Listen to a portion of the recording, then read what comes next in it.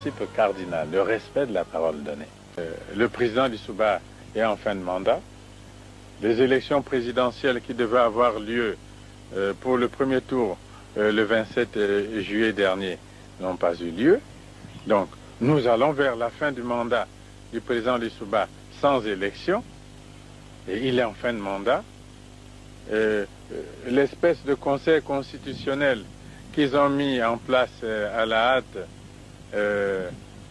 pour euh, les manipulations politiciennes que vous observez, déclarer que le, le président Lissouba pourrait rester au pouvoir jusqu'à la tenue d'élections présidentielles au Congo.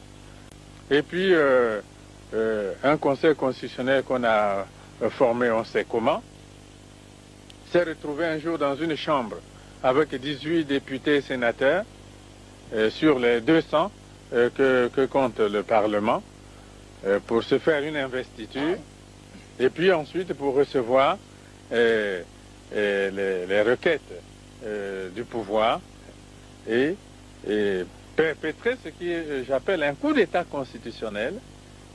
L'avis du Conseil constitutionnel, c'est un coup d'État constitutionnel. Euh, parce que vous pouvez lire toute la Constitution, les articles 69, 70 et 71 en question.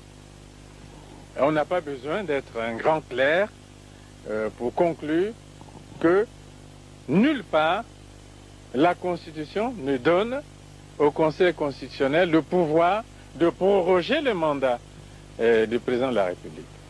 Nulle part. Plus de 70 ans, on n'est plus éligible à plus de 70 ans, à plus de 70 ans, à plus de 70 ans, on n'est on est, on est pas, on est plus éligible. La ah. Constitution prévoit qu'à 70 ans, encore